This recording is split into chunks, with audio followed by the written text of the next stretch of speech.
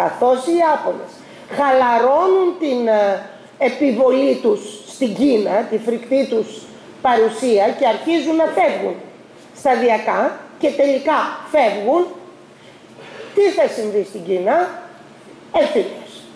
Όσο φεύγουν οι, οι, Ιαπωνέζοι, τώρα ήρθε η ώρα του εμφυλίου, διότι μέσα σε όλη αυτή τη διαδικασία ε, ο Τσάν Καϊσέκ και ο Μάο Τσετούν ε, παρέμεναν δρώντες ε, και φυσικά έχοντας τελείως αντίθετες ιδέες περί της, ε, του τρόπου διοίκησης της χώρας. Έτσι αρχίζουν συγκρούσεις εμφυλιακές από το 1944 στην πραγματικότητα, αλλά ε, το πράγμα έγινε ολοκληρωτικό 46-49. 1946, δηλαδή έχει πέσει και η Ιαπωνία, στην Κίνα πια γίνεται κανονικός και πανκινεζικός εμφύλιος πόλεμος. Μέχρι τότε ήταν σε μια περιοχή, στην άλλη περιοχή, στην άλλη περιοχή. Τώρα δεμένη πέτρα να μην καεί και λαιμός να μην σφαγεί. Και αυτός ο πόλεμος κρατάει στην ουσία τέσσερα χρόνια πήρη, δηλαδή 46, 47, 48 και 49 και έχει ενδιαφέρον γιατί ακριβώς την ίδια εποχή γίνεται ο δικός μας εμφυλιός, ακριβώς 46-49 εδώ πέρα γίνεται ακριβώς επίσης ο δικός μας εμφύλιος πόλεμος. Στην περίπτωση της Κίνας επικρατούν όπως γνωρίζετε, ε, γνωρίζουμε όλοι οι, οι κομμουνιστές ε, και έτσι στο 49 ο Μάο Τσετούγκ έχοντας δίπλα του τον δεύτερο ε, πιο σημαντικό κομμουνιστή, τον Λιν Πιάο, ε, ανακηρύσει την Κίνα σε λαϊκή δημοκρατία της Κίνας, όπως και ονομάζεται μέχρι σήμερα, διότι από το 1949 μέχρι και σήμερα η Κίνα διοικείται από το Κομμουνιστικό Κόμμα Κίνας. Σε πόσα χρόνια έχουν περάσει, 65, 65 χρόνια ε, διοικείται από το Κομμουνιστικό Κόμμα Κίνας. Μάλιστα τα προϊόντα made in China, πολλές φορές γράφει made in China ή made in PRC, People's Republic of China. Είναι, θα το δείτε πάνω στα, στα κινέζικα προϊόντα. P, τα People's Republic of China. Λοιπόν, τώρα η Κίνα γίνεται κομμουνιστική. Με το γίνεται κομμουνιστική. Διοικείται από το Κομμουνιστικό Κόμμα α, ακόμα τα πράγματα δεν έχουν ηρεμήσει διότι α, ο ιτημένος Τσάν Καϊσέκ με τους, με τους εναπομείναντες, μερικά εκατομμύρια ε, εναπομεινάντων ε, στρατιωτών του ε, διαφεύγει ε, από την σφαγή και καταφεύγει στο νησί Ταϊβάν. Εδώ είναι, που αλλιώς λέγεται Φορμόζα. Αυτό το νησί έχει τρία ονόματα θα το συναντήσουμε. Εθνικιστική Κίνα, ε, Φορμόζα, Ταϊβάν. Την Ταϊβάν την ξέραμε διότι μέχρι πριν 20 χρόνια ό,τι είχαμε πάνω μας έλεγε Made in Taiwan. Στο μεταξύ η Κίνα αποφάσισε και άλλαξε την πολιτική της την οικονομική και έγινε εκείνη η υπερδύναμη οικονομική και έτσι ό,τι φοράμε και έχουμε ε, είναι Made in China. Έχει γούστο διότι ε, αυτά βέβαια είναι τις τελευταίες 20 ετίες συμπτώματα, ιστορικά για, για χιλιάδες χρόνια όταν έλεγες κινέζικο προϊόν ε, αμέσως ε, η αναπνοή σου σταματούσε και ήταν συνώνυμο του πρίγκιπα. Δηλαδή μόνο πρίγκιπας και πάνω μπορούσε να αγοράσει κινέζικο προϊόν διότι τα κινέζικα προϊόντα ήταν ε, από χρυσό και πάνω, από μετάξι και πάνω, από τα, τα, τα ειδικά προϊόντα πολυτελείας, ρε παιδί μου. Και έτσι πως ήρθε το πράγμα, τα τελευταία 20 χρόνια λες κινέζικα και ταυτίζεται με το φθηνό και το φθηνιάρικο κατά κάποιο τρόπο. Αν και τώρα πορεύονται σε άλλες ποιότητες σταδιακά. Τέλος πάντων, έχει ο καιρός γυρίσματα δηλαδή, ενδιαφέροντα. Τώρα, ένα λοιπόν είναι το θέμα αυτό, να μην το αφήσουμε, ότι οι Κινέζοι μη κομμουνιστές ε, κατέβηγαν στην Ταϊβάν και στην πραγματικότητα τη μετέτρεψαν σε παράρτημα της Κίνας. Η Ταϊβάν δεν, ήταν, δεν κατοικούνταν από Κινέζους, ήταν άλλη περιοχή, αλλά είχε κατακτηθεί κάποια περίοδο από την Κίνα και κάποια περίοδο από την Ιαπωνία βέβαια. Αλλά τώρα έρχονται οι Κινέζοι εκεί και είναι πολλοί και αλλάζει η σύνθεση της Ταϊβάν και τώρα εδώ έχουμε μια διεθνή περιπλοκή, άμα γνωρίζετε, δεν ξέρω αν το γνωρίζετε, διότι ο Τσάν Καϊσέκ ε, ελέγχει πια την Ταϊβάν. Μάλιστα στην, κατά την φυγή του από την Κίνα είχε ζητήσει να σωθούν τεκμήρια και πολύτιμα αντικείμενα από διάφορα μουσεία κτλ. Και τα μετέφερε στην Ταϊβάν και έχουν στηθεί στο Μουσείο της Ταϊβάν, ένα μουσείο της Ταϊβάν που είναι Εθνικό Μουσείο της Κίνας, θέλω να πω. Α, και τώρα η Ταϊβάν έχει την εξής εξέλιξη. Η Κίνα έγινε κομμουνιστική δίπλα. Η Ταϊβάν έχει ένα καθεστώς ε, δυτικού τύπου, δηλαδή δημοκρατία δυτικού τύπου. Α, Προσέξτε να δείτε, η μεγάλη Κίνα θεωρεί την Ταϊβάν κινέζικο έδαφος. Οι Ταϊβανέζοι θεωρούν την Ταϊβάν ανεξάρτητο κράτος. Ε, ε, στον καιρό που ο κομμουνισμός ήταν ισχυρός, δηλαδή στις δεκαετίες του 50-60, ε, υπήρχαν χώρες αρκετές στον κόσμο που δεν ανεγνώριζαν την Ταϊβάν ως ανεξάρτητη χώρα. στον ΟΗΕ δηλαδή και τα λοιπά. Αλλά οι Ηνωμένες Πολιτείες Αμερικής έχουν πάρει πάνω τους την Ταϊβάν και την προστατεύουν επισήμως. Δηλαδή υπάρχει, υπάρχει επίσημη δέσμευση των Ηνωμένων Πολιτειών ότι ό,τι συμβεί στην Ταϊβάν είναι και δικό μας θέμα. Τι εννοείται με αυτό, ότι δεν το λέει, αλλά τι εννοείται, ότι αν η Κίνα επιτεθεί στην Ταϊβάν για να την ε, συγχωνεύσει στα εδάφη της Κίνας, τότε θα έχουμε πόλεμο Κίνας Ηνωμένων Πολιτειών. Άμα το θέλετε, το θέλετε. Καταλαβαίνετε τώρα. Και κάθε τόσο γίνονται επεισόδια, αν τα παρακολουθείτε στις εφημερίδες, διότι η Κίνα, καθώς τώρα μάλιστα ενισχύεται με την οικονομική της ανάπτυξη, συνεχώς και τελείως τυχαία τα αεροπλάνα της περνάνε πάνω από τον ε, αέριο χώρο της Ταϊβάν. Τα πλοία της τελείως τυχαία μπαίνουν μέσα στα χωρικά ύδατα της Ταϊβάν. Με αυτό θέλουν να δίνουν κάθε τόσο το μήνυμα ότι είμαστε εδώ και θα τα πάρουμε. Είναι ζήτημα χρόνου. Αμέσως οι Ηνωμένες Πολιτείες μόλις γίνονται αυτά ε, κάνουν διάφορες κινήσεις ε, ε, οι, οι διπλωμάτες, ξέρω εγώ, οι πρεσβευτές ανακαλούνται το ένα τ' άλλο.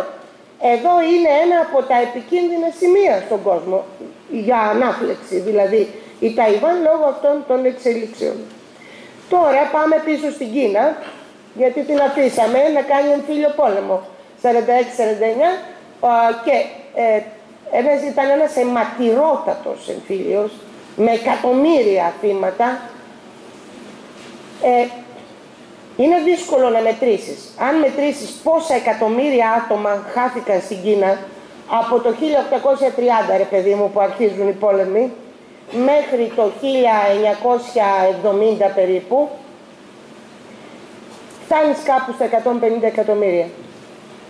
Είναι απερίγραπτο δηλαδή αυτό το οποίο συνέβη σε αυτή τη χώρα. Σε αυτά τα 100 τόσα χρόνια δηλαδή. Προσέξτε να δείτε τι γίνεται τώρα. Ωραία. Πήρε την εξουσία το Κομμουνιστικό Κόμμα Κίνας σε μια χώρα η οποία είναι καμένη από πάνω μέχρι κάτω. Δεν, δεν, δεν είναι τώρα καμένη, ήταν καψαλισμένη ήδη από τον 19ο αιώνα, ήρθε ο 20ος αιώνας, μπήκαν οι Άπωνες, να ο Φίλιος. Δεν έχει μείνει τίποτα όρθιο. Πρέπει το πράγμα να ξεκινήσει από την αρχή. Ήδη δηλαδή το πράγμα είναι βαρύ και τώρα τι πρέπει να ξεκινήσει; Κάτι το οποίο είναι καινούργιο. Δηλαδή, ο κομμουνισμός είναι μια θεωρία η οποία στήθηκε το 19ο αιώνα από τον Μάρξ και τον Έγκλης, σωστά. Αυτοί έζησαν το 1840-1850 και έγραψαν τα πονήματά τους. Αυτά δημιούργησαν τη βάση του κομμουνιστικού κινήματος. Τι είχαν σκεφτεί ο Μάρξ και ο Έγγελς, και εδώ αρχίζει λίγο το παράδοξο του πράγματος, ο, ο Μάρξ και ο Έγγελς παρακολουθούσαν την εξέλιξη της οικονομίας σε ζώντας στη Γερμανία που ήταν ένα εξαιρετικά δυναμικό οικονομικά κράτος και κατέληξαν στην εξή σκέψη, ότι αυτή η ελεύθερη οικονομία ε, εξελίσσεται σε μονοπωλιακή, δηλαδή είναι τόσο δυναμική που πια ε, μεμονωμένες ε, ομάδες, εταιρείες, χώρες, φορείς ελέγχουν την οικονομία, αυτό θα φέρει το τέλος της, της ελεύθερης οικονομίας και θα φέρει συμπτώματα τόσο βαριά που θα χρειαστεί να δημιουργηθεί ένα νέο, ένα νέο σχήμα διοίκησης του κόσμου. Και τι πήραν αυτοί οι άνθρωποι ως ιδέα, είναι η εποχή του ρομαντισμού, αν ξέρετε. Όχι, το 1840, 1850, 1860 ονομάζεται η περίοδος του ρομαντισμού και είναι το ρεύμα του ρομαντισμού. Αυτό το ρεύμα του ρομαντισμού τι έκαμε, πήγαινε στο παρελθόν για να βρει στοιχεία προκειμένου να το εφαρμόσεις στο μέλλον. Αυτό έκαναν και ο Μάρξ και ο Έγγελς. Γύρισαν στο παρελθόν και είπαν ποια λύση υπάρχει σε αυτή την κυριαρχία του χρήματος να γυρίσουμε σε φάσεις κοινοκτημοσύνης. Η ανθρωπότητα είχε ζήσει τεράστια τμήμα της ζωής της κοινοκτημονικά. Δηλαδή όταν ήμασταν, όταν ήμασταν καρποσυλλέκτες και κυνηγοί ζούσαμε σε μικρές ομάδες 20-30 ατόμων που δεν είχαν ατομική ιδιοκτησία. Ο καθένας ό,τι ήταν ήταν κοινό. Στη σπηλιά που ζούσαν όλοι τα είχαν κοινά. Πότε ήρθε, λέει ο Μάρξ και ο Έγγελς και σωστό, η έννοια της ατομικής ιδιοκτησίας με τη γεωργική επανάσταση. Όταν γίναμε γεωργοί, μείναμε σε ένα τόπο και τότε αυτό είναι το χωράφι μου, αυτό είναι το σπίτι μου, αυτό είναι το κατσαρόλι μου, αυτό είναι... Ναι. Άρα αυτή, από αυτό ξεκίνησε η ιστορία αυτής της, ε, της, ε, ε αυτή της εξέλιξης που τώρα μας έχει φέρει εδώ, λέει ο Μάρξ. Άρα θα επιστρέψουμε σε κοινοκτημονικές λύσεις. Η ατομική ιδιοκτησία δεν θα υπάρχει και τι θα συμβεί, θα τα εργοστάσια, γιατί πια μιλούσε για εργοστάσια. Ο Μάρξ και ο Έγγελς είχαν συλλάβει ότι θα γίνει η αλλαγή αυτή, την οποία επαγγέλλονταν, στις πιο προχωρημένες βιομηχανικές χώρες. Διότι σε αυτές τις χώρες θα έχει φανεί η ε, η αποσάπηση ας πούμε του, του κύκλου αυτού της οικονομίας και επομένως οι εργάτες αυτών των χωρών θα συγκατανεύσουν στο να εξαλειφθεί η ατομική ιδιοκτησία, να γίνουν όλα κοινοκτημονικά και τα ίδια τα εργοστάσια να τα λειτουργούν με τέτοια ε, κατεύθυνση. Και επομένως και η κυβέρνηση η οποία θα προκύψει θα αποτελείται από την εργατική τάξη στην ουσία, η οποία θα έχει συμφέρον να συντηρήσει αυτή την κοινοκτημονική κατάσταση. Γι' αυτό και λέγεται κομμουνισμός. Από τη λέξη κομμούνα, που θα πει κοινότητα, κοινοκτημοσύνη. Μα, γιατί σας τα λέω όλα αυτά, διότι αυτή η σύλληψη του Μάρξ και του Έγγελς του 19ου αιώνα, δηλαδή ο Μάρξ και ο Έγγελς ήταν βέβαιοι, βέβαιοι, ότι αυτό θα γίνει στην Αγγλία ή στη Γερμανία της εποχής ότι εκεί θα γίνει η επανάσταση των προλεταρίων. Δεν θα τους περνούσε από το νου, μα ποτέ, ότι θα γίνει κομμουνισμός σε περιοχές οι οποίες δεν ήταν, δεν ήταν βιομηχανικές. Η πρώτη, ε, πρώτη κομμουνιστική επανάσταση, όπως γνωρίζετε, έγινε στην, στη Ρωσία το 1917 μια χώρα η οποία απήχε πολύ από την έννοια της βιομηχανικής χώρας.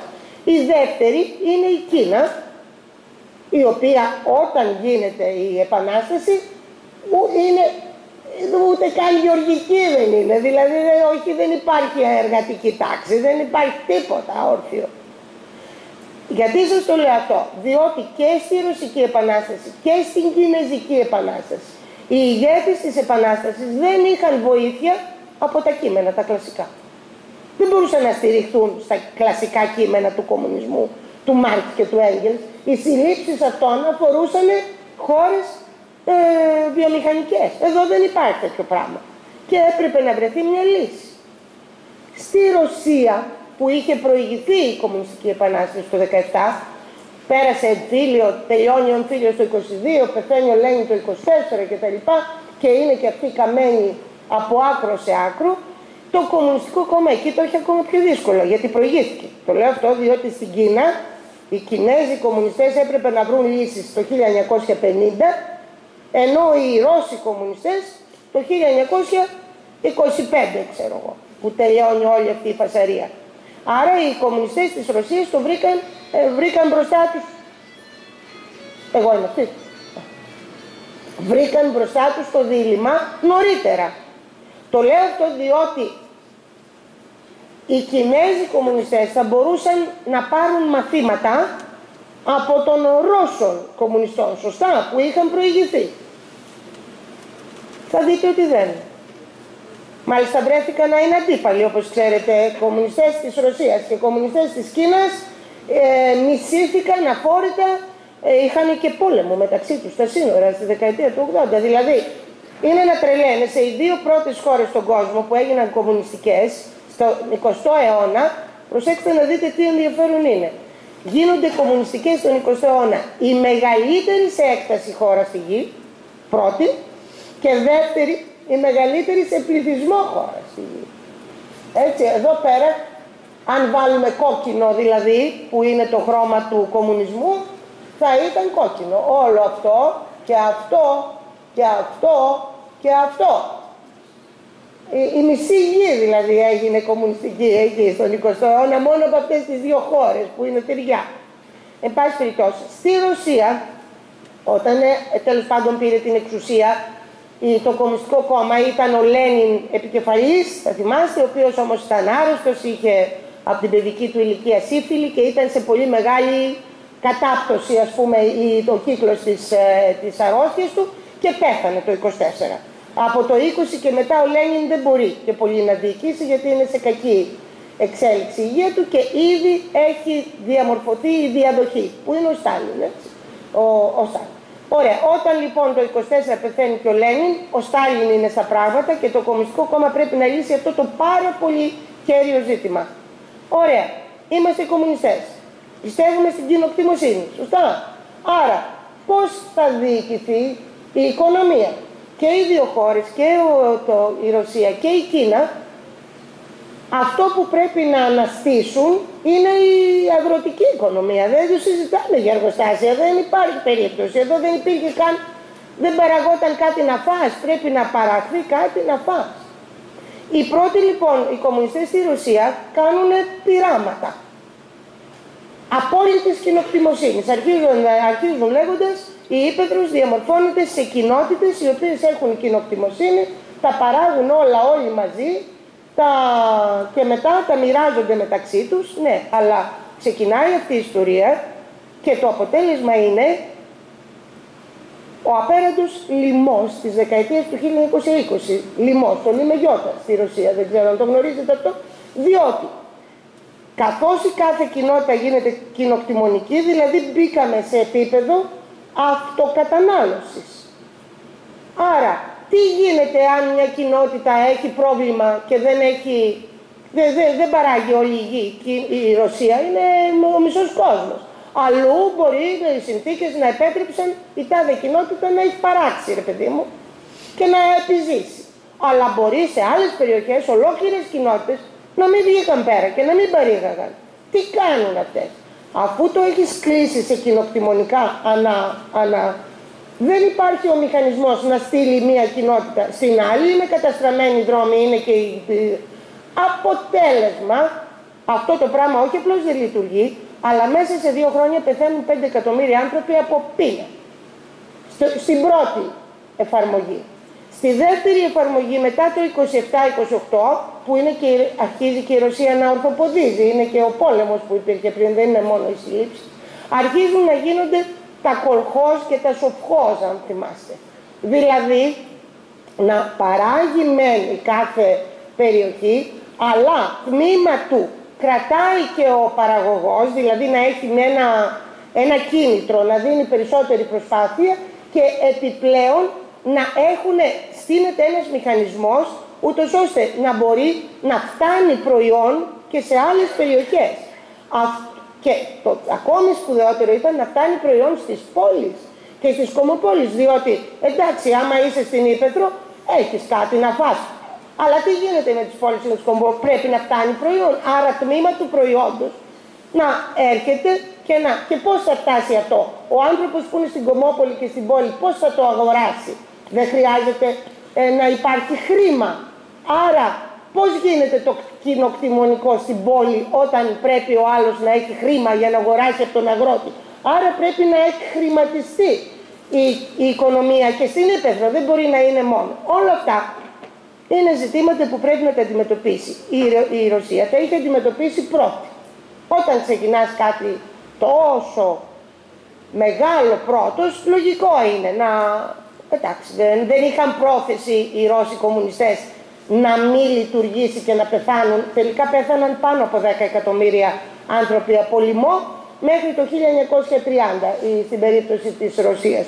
Αλλά γύρω στο 1930 το πράγμα ισορρόπησε και άρχισε και βρέθηκαν λύσεις.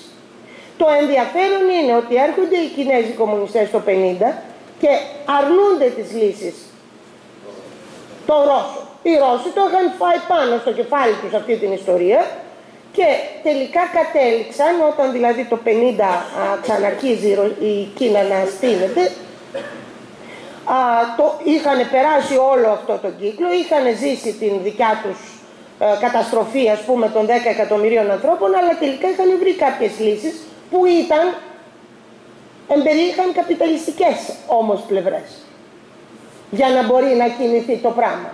Όμως χάρη σε αυτές τις καπιταλιστικές πλευρές το πράγμα ισορρόπησε. Ο Μάο λέει όχι. Απόλυτη Ξαναρχίζει από την αρχή. Και σε μια Κίνα τώρα η οποία είναι πολύ πιο δύσκολη από τη Ρωσία, διότι είναι πυκνοκατοικημένη, δεν το συζητούμε, η Ρωσία είναι, ε, είναι τεράστια αλλά είναι αεροκατοικημένη, άρα εκεί πέρα τα προβλήματα θα φανούν πιο πολύ και είναι πολύ πιο καψαλισμένη από τη Ρωσία. Δηλαδή η Κίνα ξεκινάει από μια βάση μείον μηδέν, δηλαδή δεν, δεν είναι ρώσικη αυτή η ιστορία και αρχίζει από την αρχή τέτοιες λύσεις όπως είχε ξεκινήσει στην αρχή οι Ρώσοι κομμουνιστές, δηλαδή απόλυτος ε, κοινοπτημοσύνη κτλ. κτλ. Αποτέλεσμα. Δέκα χρόνια και πάνω στην Κίνα χάνονται, οι εκτιμήσεις μέχρι τώρα ήταν γύρω στα 12 με 15 εκατομμύρια άνθρωποι. Τώρα στην Κίνα βγήκαν εργασίες με βάση ταχεία και μιλούν για 35 εκατομμύρια νεκρούς. Από πείνα στην εφαρμογή των πρώτων 10 χρόνων αυτής της, ε, των συλλήψεων, ας πούμε. Και είναι κινέζικες εκτιμήσεις. 35 και πάμε για παραπάνω. Μέχρι να βρεθεί μια ισορροπία στην Ήπεθρο. Δηλαδή περνάει το 50, μπαίνουμε στο 60 και η Κίνα παραπέει βαρύτατα. Και όχι μόνο παραπέει βαρύτατα, αλλά είναι σε σύγκρουση ιδεολογική. Με τη Ρωσία παίρνει τη δεκαετία του 60 αυτό ε, φόρα στη δεκαετία του 70 έχουν γίνει δύο εχθρικές χώρες. Οι δύο πρώτες χώρες του κόσμου, οι κομμουνιστικές. Είναι ένα θέμα αυτό, θα, θα έλεγε κανείς. Αφού τέλος πάντων με τα πολλά αποκτάτε μια ισορροπία στην Ήπεθρο, γιατί και οι κομμουνιστές της Κίνας αναγκάζονται να βάλουν τελικά ε, νερό στο κρασί τους, γιατί αλλιώς δεν έβγαινε αυτό το πράγμα, και άρχισε η Ήπετρος να παράγει και να υπάρχουν κάποια φαγητά έστω μίνιμουμ στις πόλεις όσες υπήρχαν κομμοπόλεις και να αρθοποδήσει, ο Μάο αποφασίζει ότι η Κίνα πρέπει τώρα να γίνει βιομηχανική χώρα. Στην περίπτωση της Ρωσίας πάλι η ίδια ήταν απόφαση, είχε προηγηθεί, δηλαδή και στη Ρωσία, στη Σοβιετική Ένωση, όταν ισορρόπησε το το κλίμα στην Ήπεθρο που είναι βασικό για τα περαιτέρω, πολύ σωστά το Κομμουνιστικό Κόμμα Ρωσίας στη δεκαετία του 30 πήρε απόφαση να γίνει η Ρωσία βιομηχανική χώρα.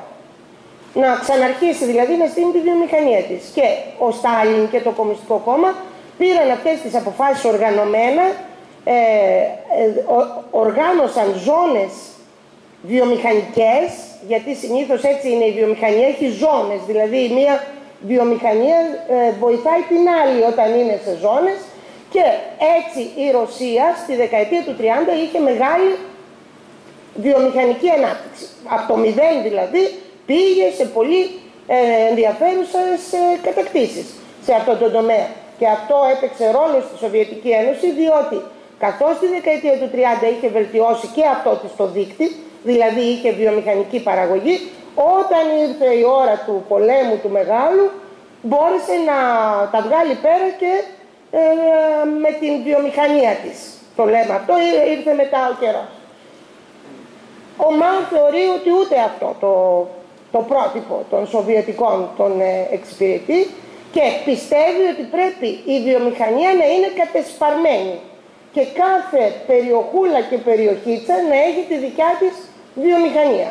Και μάλιστα ξεκινάει με την άποψη ότι πρέπει να έχει βαριά βιομηχανία. Δηλαδή μετάλλων. Και στείνονται 900.000 καμίνια στην Κίνα. Κάθε χωριό και στάδιο, κάθε χωριό και γυμναστήριο, δεν έλεγε η Δηλαδή, κάθε χωριό και χωριουδάκι περίπου έπρεπε να έχει το δικό της παραγωγή μετάλλων. Μα δεν γίνεται έτσι, διότι πρέπει να έχεις πρώτο πρώτη ύλη, έφερναν οι χωρικοί, έχει μείνει ξακουστό αυτό, έφερναν οι χωρικοί τα στεντζερέδες τους, τα τηγάνια τους, να λιώσουν και τα λοιπά για να βγει μέταλλο. Περνάνε άλλα 10 χρόνια, είμαστε στη δεκαετία τέλος του 60, η Κίνα είναι στα μαύρα της τα χάλια οικονομικά και όλο αυτό το εγχείρημα της βιομηχανίας έχει καταρρεύσει τελείως. Τελείως όμως. Παταγωδό. Ο Μάο αποφασίζει ότι για αυτό όλα αυτά φταίει η κακιά παλιά νοοτροπία. Ότι ο κινέζικος λαός δεν είναι ε, αρκετά επαναστατικός και ότι είναι δεμένος με τα παλιά ήθη και τις παλιές συλλήψεις και ότι πρέπει να αλλάξουν οι νοοτροπίες πρώτα και αυτό φταίει που η οικονομία δεν πάει καλά. Και τι αποφασίζει να κάνει την πολιτιστική επανάσταση. Δηλαδή στην ουσία να χτυπηθεί ο κομπουγενισμός. Αυτή είναι η ιστορία. Κομπουγενισμός που βρίσκεται στο μυαλό του κάθε Κινέζου. Αρχίζει αυτή η πολιτιστική επανάσταση, γράφει ο Μάο το κόκκινο βιβλίο που το διαβάζουν όλοι οι Κινέζοι όλοι μαζί στις πλατείες και τα λοιπά Φωναχτά το μαθαίνουν απ' έξω τα παιδάκια στο σχολείο και αρχίζει μια τρομερή περίοδος για την Κίνα ε, όπου ε, μικρά παιδιά σκότωναν δασκάλους, φτύνανε ηλικιωμένους, τους έρνανε, τους πετάγανε από γέφυρες κτλ. Και φυσικά κάποια στιγμή αυτό συμμαζεύεται, ο Μάο ήδη είναι σε κακή υγεία και η χείρα του ε, είναι εκείνη η οποία προσπαθεί να ελέγξει το, το κόμμα διότι ε, η, μέσα στο κόμμα υπάρχει ισχυρή άποψη ότι ο ΜΑΟ μας πάει από αποτυχία σε αποτυχία. Έχουν περάσει 20 χρόνια ε, από την ε, τέλος του εμφυλίου και η Κίνα δεν ορθοποδεί. Μάλιστα. Και τέλος πάντων τελειώνει αυτή, την, την τελειώνουν όσο μπορούν την πολιτιστική επανάσταση το Κομμουνιστικό Κόμμα Κίνα θεωρεί ότι μεγαλύτερο λάθος που έκαναν ποτέ είναι η πολιτιστική επανάσταση και είναι δηλαδή έφερε την Κίνα ανεφλόγου, ανεφλόγου πάρα πολύ πίσω και κατέστρεψε τα ήθη, δηλαδή ο λαός έπρεπε ξανά να ξαναβρει βασικές αξίες, να ξανανακαλύψει από την αρχή και μέσα στο Κομμουνιστικό Κόμμα έχει δημιουργηθεί ήδη ένας σώμα το οποίο προσβλέπει στη διαδοχή του ΜΑΟ και την αλλαγή τελείως των ε, αρχών που ο Μάο είχε ε, θέσει. Η χείρα του Μάο, θα γνωρίζετε, βλέπει αυτές τις εξελίξεις, είναι μια γυναίκα πολύ δυναμική, η οποία βλέπει αυτές τις εξελίξεις και καταλαβαίνει ότι η Κίνα θα αλλάξει με το θάνατο του άντρα της που προϊονίζεται γιατί είναι σε άσχημη. Έχει, έχει δημιουργήσει στην ουσία ένα δικό της κόμμα μέσα στο Κομμουνιστικό Κόμμα προκειμένου να πάρει την εξουσία μόλις πεθάνει ο Μάο, αλλά αντί να συμβεί αυτό πεθαίνει ο Μάο και αμέσως η, το Κομμουνιστικό Κόμμα ε, συλλαμβάνει την χείρα και τους ε, άλλους με τους οποίους έχει συνδυαστεί, τους βάζει στη φυλακή και τα λοιπά και παίρνει τώρα την εξουσία στην ουσία η αντίπαλη εσωτερική πολιτική ομάδα που υπήρχε έτσι κι αλλιώς επί Μάο ε, αλλά δεν είχε ποτέ έκφραση γιατί ο Μάο είχε πολύ μεγάλο κύρος. Ο Μάο ήταν πολύ κακός πολιτικός. Ε, απελπιστικά κακός πολιτικός. Αλλά ήταν πολύ λαοπρόβλητος. Δηλαδή μιλούσε, ήξερε να μιλάει στο λαό του, να λέει αστεία, να μιλάει στην ψυχή του. Ήτανε, είναι σημαντικό σε έναν ηγέτη αυτό όπως και ο Στάλιν αντιστοίχως, ήταν λαϊκοί τύποι. Δηλαδή ε, και δια, διαπερνούσαν. Και φυσικά είχε, ήταν ο νικητής του εμφυλίου πολέμου. Μέχρι σήμερα στην Κίνα όλοι λένε ότι ήταν η καταστροφή για 20 χρόνια δηλαδή οικονομικά η Κίνα έχασε 25 χρόνια και μερικά γύρω στα 40 εκατομμύρια κατοίκους δηλαδή, άστο, πάρτα αυγό και κούρευτο. Αλλά υπάρχει σεβασμός στο πάντα, ε, γιατί ήταν ο επικεφαλής όλης της κομμουνιστικής διαδικασίας επί δεκαετίες. Και τώρα οι διάδοχοι του Μάο Τσετούγκ παίρνουν τα ενία, ο πιο σημαντικός από αυτούς είναι ο Τέγκ Σιάο Πίνγκ, ο, ε, είμαστε, ο Μάο πέθανε το 1976 και ε, μετά το 80 η Κίνα αρχίζει να αλλάζει ολότελα. Τόσο ολότελα που πάλι αναρωτιέσαι. Δηλαδή για 25 χρόνια η Κίνα λειτουργούσε ως με απολυτότητες, ε, ανελαστικές απολυτότητες σε σχέση με το κομμουνιστικό ιδεώδες και μετά μπήκε σε άλλους δρόμους.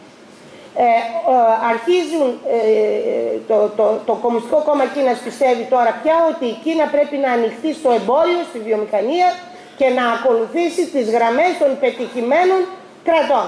Δεν μπορούμε να κάνουμε αυτά που κάνουμε. Ποιες είναι οι επιτυχημένες ε, παγκοσμίως οικονομικές δυνάμεις, ποιες είναι, οι κακοί καπιταλιστές.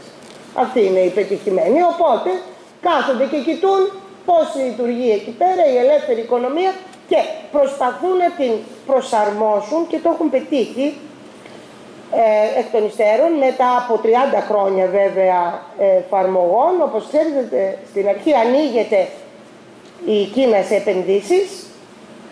Ε, στη δεκαετία του 80 αρχίζουν οι πρώτες επενδύσεις στην Κίνα. Αυτό κι αν είναι. Τι θα πει επενδύσεις, σημαίνει ότι, ξέρω εγώ, η Microsoft τότε δεν υπήρχε, αλλά αντίστοιχα μεγάλες έρχονται στην Κίνα, στείλουν εργοστάσια, έχουν χέρια απίστευτα φτηνά και επομένως ό,τι είχε γίνει στην Ταϊουάν. Στην Ταϊουάν είχαν εγκατασταθεί το, το 60, το 70, το 80, ακόμη ήταν ένα σωρό δυτικές εταιρείες, διότι εκεί οι άνθρωποι δουλεύουν πολύ, σε αυτές τις χώρες οι άνθρωποι δουλεύουν πάρα πολύ, αφοσιωμένα και συστηματικά. Είναι και πάμπτινοι στο μεροκάματο, τι άλλο θέλεις. Μάλιστα. Να ανοιχτούν στην οικονομία. Ανοίχτηκαν, άρχισαν, ήρθαν οι δυτικοί, άρχισαν να στείλουν εργοστάσια. Σταδιακά δημιουργήθηκαν ε, λιμάνια, δεν η Κίνας σε αυτό έμενε πίσω. Να τα λιμάνια, να τα διάφορα θέματα. Να τα ναυπηγεία. Α, και βέβαια η Κίνα σταδιακά καλεί και άλλους, καλεί και άλλους και αφού ανόρθωσε την οικονομία της σε, μια πρώτη, σε ένα πρώτο επίπεδο, το 80 και 90, από το 90 και μετά γίνεται η ίδια υπερδύναμη. Δηλαδή μέσα στην Κίνα δημιουργεί εργοστάσια. Δεν είναι η Κίνα δηλαδή σήμερα μετά από πόσα είναι το 80 ε, έχουν κυλήσει 35 χρόνια από το θάνατο του Μάου ας πούμε τα πρώτα, τα πρώτα 20 χρόνια προσπαθεί να ανορθωθεί υιοθετώντας καπιταλιστικές ιδέες δέχεται επενδύσεις και μετά, τα τελευταία δηλαδή, από αυτά τα 35 χρόνια, τα τελευταία 15 χρόνια πια έχει γίνει η ίδια υπερδύναμη. Δεν στηρίζεται στα εργοστάσια, ε, αλλά δημιουργεί δικά τη εργοστάσια με πιο ενδιαφέροντα τρόπο. Σε αυτό η Κίνα προσφέρει κάτι καινούριο. Δηλαδή, λειτουργούν τα εργοστάσια αυτά με καπιταλιστικούς όρους, δηλαδή ανταγωνιστικά, ε, και τα λοιπά, δεν, αλλά ανήκουν στο κράτος στην πραγματικότητα. Είναι ένας κρατικός καπιταλισμός κατά κάποιο τρόπο και την διοίκηση αυτών των εργοστασίων την έχουν στελέχη του Κομμουνιστικού Κόμματος.